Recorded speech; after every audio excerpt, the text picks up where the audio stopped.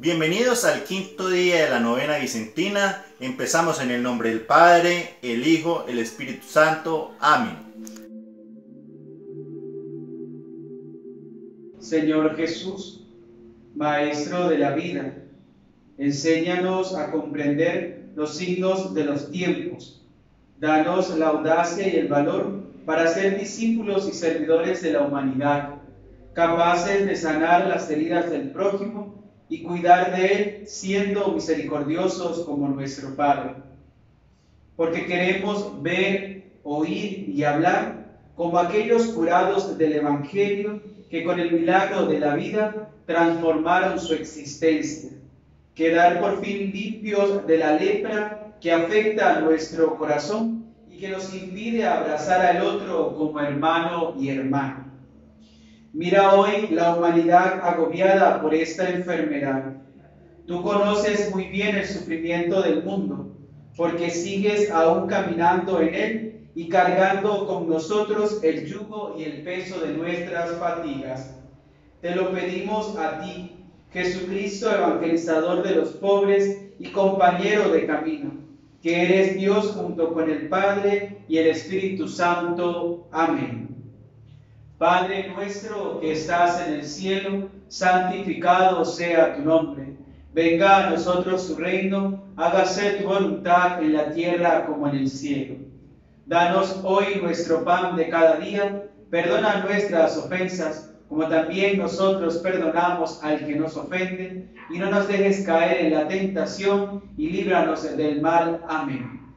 Gloria al Padre, y al Hijo, y al Espíritu Santo como era en el principio, ahora y siempre, por los siglos de los siglos. Amén.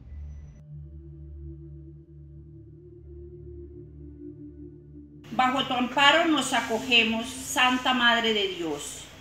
En la dramática situación actual, llena de sufrimiento y de angustias, que oprimen el mundo entero, acudimos a ti, Madre de Dios y Madre nuestra y buscamos refugio bajo tu protección. Oh Virgen María, vuelve a nosotros tus ojos misericordiosos y en esta pandemia de coronavirus, consuela a los que se encuentran confundidos y lloran por la pérdida de sus seres queridos, a veces sepultados de un modo que hiere el alma. Sostiene a aquellos que están angustiados porque para evitar el contagio no puede estar cerca a las personas enfermas. Infunde confianza a quienes viven en el temor de un futuro incierto y de las consecuencias en la economía y en el trabajo. Madre de Dios y Madre nuestra implora al Padre de misericordia en esta dura prueba termine y que volvamos a encontrarnos en un horizonte de esperanza y de paz. Como en Caná, intercede ante tu divino Hijo, pidiendo que consuele a las familias de los enfermos y de las víctimas, y que abra sus corazones a la esperanza. Nos encomendamos a ti, que brillas en nuestro camino como signo de salvación y de esperanza. Oh clementísima, oh piadosa, oh dulce Virgen María, Dios te salve María, llena eres de gracia. El Señor es contigo, bendita tú eres entre todas las mujeres y bendito es el fruto de tu vientre Jesús. Santa María, Madre de Dios, ruega por nosotros los pecadores, ahora y en la hora de nuestra muerte. Amén. Oh María, sin pecado concebida, ruega por nosotros que recurrimos a ti. Día sexto. Los santos, ejemplo de Jesús evangelizador. Nuestro signo, varias imágenes de santos que se hayan caracterizado por el ejercicio de la caridad y alguna representación del pasaje del buen samaritano. Nuestra frase, ellos vivieron solo por Jesús. Nosotros seguimos su ejemplo.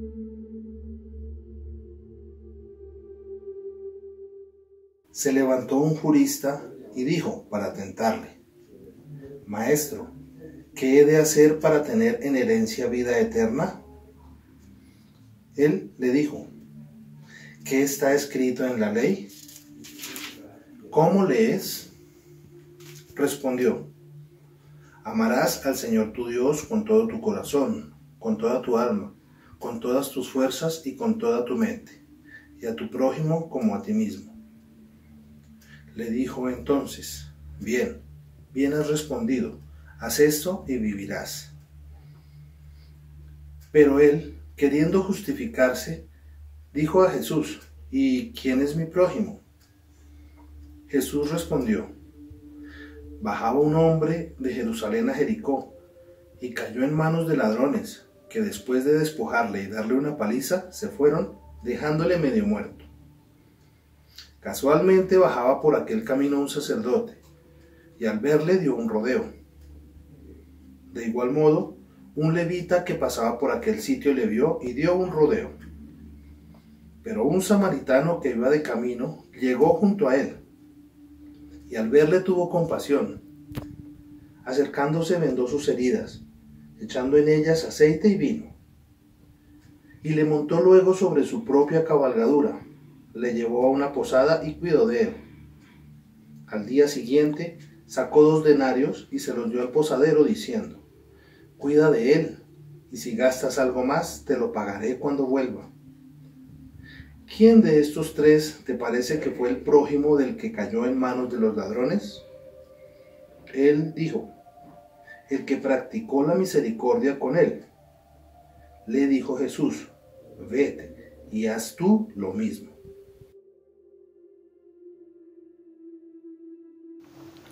No es casualidad que Jesús elija precisamente a un samaritano como personaje positivo de la parábola. De este modo quiere superar el prejuicio, mostrando que también un extranjero, incluso uno que no conoce al Dios verdadero y que no va a su templo, es capaz de comportarse según su voluntad, sintiendo compasión por el hermano necesitado y ayudándolo con todos sus medios a disposición. Por ese mismo camino, antes del samaritano, ya habían pasado un sacerdote y un levita, es decir, personas dedicadas al culto de Dios.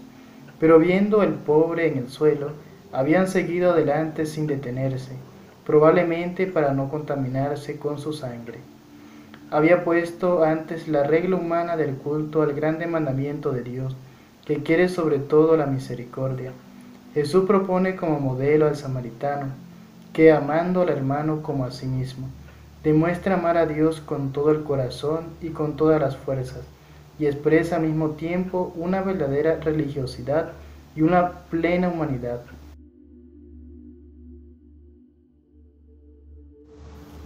Soy capaz de reconocer la bondad y el amor que otros tienen, aunque no profesen mi misma fe. ¿Cuántas veces he antepuesto mis creencias para no ayudar a alguien que lo necesita? ¿En qué momentos de la vida he sido como el buen samaritano o como aquel que fue víctima de los asaltadores? ¿Cómo puedo entender esta parábola en medio de la cuarentena?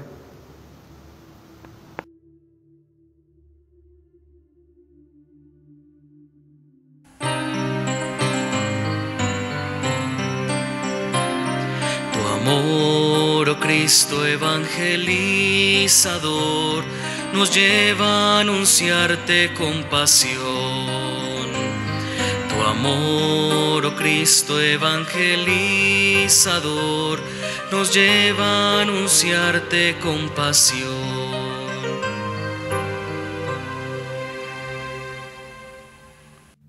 Jesús, nuestro divino Maestro, misionero eterno del Padre, que ante tanto sufrimiento sea tu cruz el estandarte.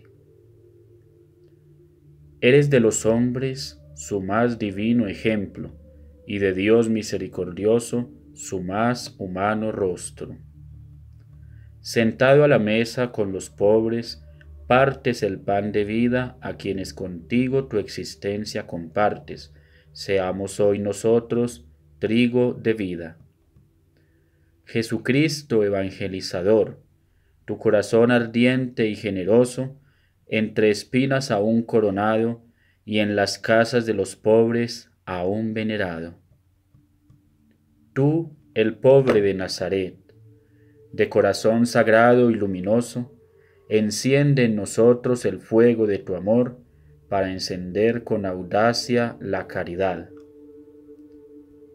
Crucificado y resucitado, hermano de los hombres, inmarcesible en el tiempo, enséñanos la mansedumbre que nos hace ser iglesia. Tu amor, oh Cristo evangelizador, nos lleva a anunciarte con pasión.